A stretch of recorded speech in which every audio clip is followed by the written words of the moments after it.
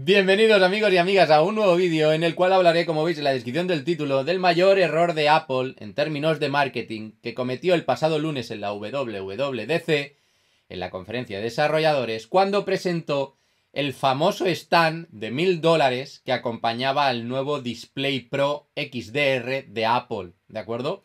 Y lo digo con todas las letras, el error de marketing que cometió Apple.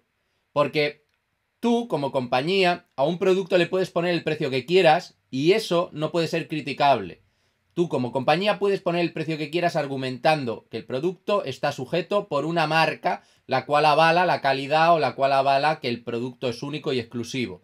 En base a la exclusividad y a la calidad, etcétera, etcétera, tú puedes decir que ese producto puede costar mil dólares. Evidentemente, el usuario, en la mente del consumidor, Ver un producto de mil dólares como un stand, este de aquí que estáis viendo de fondo, no entra en cabeza humana y por lo tanto todo el mundo tiene todo el derecho a criticarlo y yo creo que nadie en su sano juicio compraría este stand a este precio. Pero esto es un tema diferente. La compañía Apple ya sabemos cómo es y puede lanzar este mensaje de que este stand cuesta mil dólares y quedarse tan ancha. ¿Ok? Esto es así. Pero lo que no puede cometer Apple es un error de marketing flagrante en la presentación que cometió el lunes. ¿Por qué? Porque Apple es una compañía que la presentación del lunes la tiene estudiada, la tiene analizada, la ha repetido mil veces. Todo lo que se está diciendo está pesado de acuerdo con una balanza. Y está dicho milimétricamente para que todo el mundo entienda lo que se dice. ¿De acuerdo? Y lo que no entra en cabeza humana es que los responsables de marketing de Apple hayan cometido un error que en el fondo se podía haber subsanado de una manera muy fácil. Porque no hay que estudiar marketing para poder hacer que la presentación del stand del Apple Pro Display XDR hubiera sido un éxito en vez de un fracaso. Y digo un fracaso porque en una fantástica presentación de Apple del lunes donde enseñaron el Mac Pro, que a la gente le gustó este sistema modular, enseñaron este Display Pro XDR, el cual tiene unas maravillas técnicas y el cual tiene un precio de 5.000 dólares que es muy buen precio comparado con lo que hay dentro del sector o del mercado, porque enseñaron monitores de la marca Sony que superaban los 30.000 dólares y no tienen la, capacidad que tiene este display XDR, que ellos llaman XDR, porque tiene una capacidad de HDR todavía más extrema, por eso llaman XDR, han sustituido la H por la X, pero lo que no puede hacer Apple es presentar el producto por 5.000 dólares y acto seguido presentar un Besa Mount, que es el montador de Besa para colocarlo en un soporte, por 199 dólares, que hasta ahí, bueno, no pasa nada, se puede llegar a entender, es un precio que dentro de los 5.200 más no pasaría nada, pero el stand por, eh, por 999 dólares o 1.000 euros, esto fue lo que desató pues el malestar del público en general. A Apple el otro día, en la presentación, después de decirlo del stand por 999 dólares, faltó muy poco para que la abuchearan. Y esto hubiera sido algo histórico, ¿de acuerdo? Algo histórico. Y desde el punto de vista del marketing, todo esto se podía haber ahorrado y ahora os explicaré cómo y por qué, ¿de acuerdo?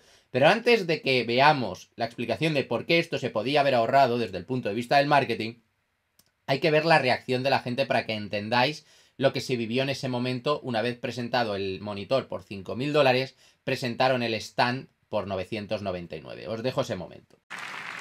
And the nano texture version will be $59.99. The VESA mount adapter will be $199 and the Pro stand $999. And like the Mac Pro, they'll all be available in the, in the fall. Como habéis podido ver, en ese momento solo faltó que la gente abucheara. Y si no abucheó la gente, es porque el usuario de Apple, ¿de acuerdo? Normalmente está muy acostumbrado a estas acciones por parte de la compañía con precios altos.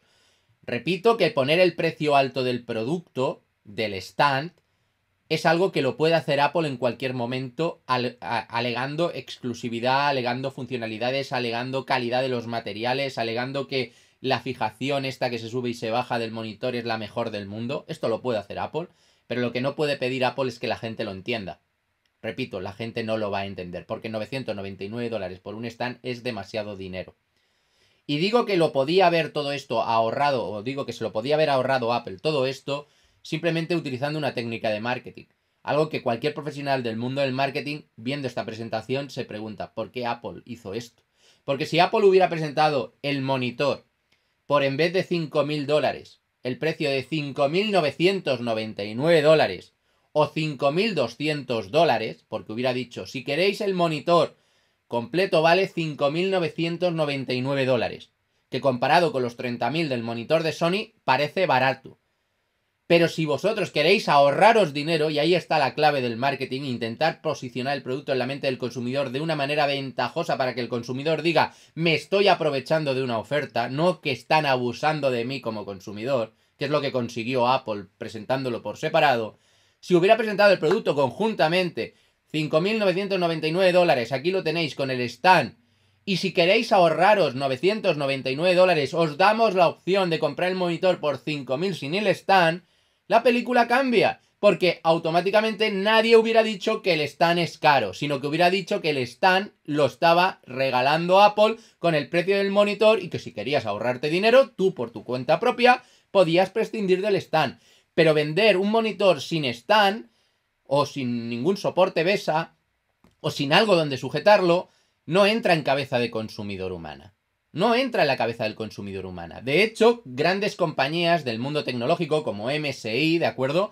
Que no es competencia directa de Apple, ha sacado un comunicado en el cual prácticamente se ríe de esta situación haciendo esta foto, en la cual compara su monitor, un monitor que es altamente tecnológico, un monitor que tiene concretamente 5K eh, y tiene el HDR600 certificado y tiene el panel de color prácticamente a un nivel mm, altísimo de 34 pulgadas, que es todavía más grande que el monitor que presentó Apple. Evidentemente este monitor, que cuesta 1.299 dólares, está a años luz del panel que presentó Apple, este Apple Pro Display XDR, pero lo compara no con el display, lo compara con el stand y se ríe, entre comillas, de Apple diciendo que el stand no tiene 5K, no tiene pantalla, no tiene el tema de certificación de color y es simplemente un stand por mil dólares. Y esto es lo que ha conseguido Apple. Señores, esto es lo que ha conseguido Apple. Que un montón de gente se le eche al cuello de manera innecesaria. Porque si estas personas responsables de marketing de Apple hubieran parado el día que empezaron a hacer las pruebas, a analizar lo que estaban diciendo, y se hubieran parado a pensar cuál era la reacción de la gente, que evidentemente el público de Apple lo tiene en un bolsillo, pero también el público de Apple se puede cansar en ciertos momentos de ciertas cosas, todo esto no lo hubiera sufrido la compañía y no estaríamos hablando en este vídeo ni a través de las redes sociales del abuso de Apple por presentar un stand de mil dólares, cuando completamente haciéndolo de una manera desde el punto de vista del marketing más inteligente, podrían haber sacado ventaja de esta situación y hacer ver que el display XDR que han presentado hubiera sido un chollo a los ojos de todo el mundo comparándolo conjuntamente con el de Sony, uniéndole en el precio el stand por 6.000 dólares. Y luego hubieran quedado como Dios quitándole el stand diciéndole a la gente, bueno, y quien no quiera pagar 6.000 dólares por el monitor, le damos la opción de pagar 5.000 si le quitan el stand. Y la gente hubiera dicho, pues claro, le quito el stand y compro el monitor. Pero no le hubieran criticado el stand, sino que hubieran dicho que Apple estaba haciendo una oferta mejor para que el consumidor se hiciera con uno de estos paneles. ¿Ok? Y yo dentro de esta conversación también acabo de aclarar una cosa porque hay gente que no lo acaba de entender. Este monitor de Pro Display está enfocado a los ultra profesionales del mundo del vídeo que trabajan en 8K, etcétera, etcétera. Es un monitor absolutamente innecesario para el común de los mortales, lo digo porque mucha gente que critica los productos de Apple, empezando por el Mac Pro, este nuevo modular, lo están criticando desde el punto de vista del usuario, como diciendo quién se va a gastar 6.000 dólares en un ordenador o 30.000 en la máxima configuración, cuando es que eso no es un ordenador para personas que lo van a utilizar en su casa, eso es un ordenador para empresas como Pixar, National Geographic o grandes productoras de música o estudios de música, los cuales necesitan un ordenador para hacer grandes composiciones audiovisuales, ¿ok? Esto es así. Y el tema del display, el XDR, es tres cuartos de lo mismo. Y por lo tanto, criticar el precio del display no tiene ningún sentido, entre otras cosas porque, como bien demostró Apple, 33.000 dólares costaba el de Sony. Con lo cual, este XDR display parece hasta barato. Otra cosa es lo que he dicho en el vídeo de hoy, el gran error de marketing de presentar el stand por separado al precio de mil dólares y dejarte un monitor sin stand por 5.000. Eso es un gran error, que si lo hubieran juntado todo junto por el precio de 6.000 dólares, la gente lo hubiera visto hasta barato. Y si le dices luego que le quitas el stand para dejarte el panel por 5.000, hubiera dicho que Apple se ha portado muy bien con los usuarios porque encima se lo deja más rebajado. Y quiero que entendáis esto. Esto es un tema de marketing, es un tema de cómo se presentan los productos. Si tú presentas el producto de una manera ventajosa, la gente compra. Si tú presentas el producto de una manera negativa, la gente va a tener la consciencia de que están abusando de él. Y cuando el consumidor piensa que abusan de él, muestra rechazo. ¿Ok? Y en esta ocasión, con esta acción, honestamente, desde el punto de vista del marketing, no hay que ser un profesional de esto, ni tampoco estudiar la carrera. Yo creo que cualquier persona con dos ojos delante de la cara y un poco de sentido común podrá entender esta situación. ¿Ok? Bueno, pues hasta aquí el vídeo de hoy. Ponedme lo que opináis al respecto del tema del stand de mil dólares de Apple. Ponedme lo que opináis al respecto de la reflexión que os he hecho en el vídeo de hoy. Decidme si tenéis una opinión contraria a la mía desde un punto de vista argumentado, qué es lo que me podríais decir. Ok, yo sin más me despido y hasta la próxima.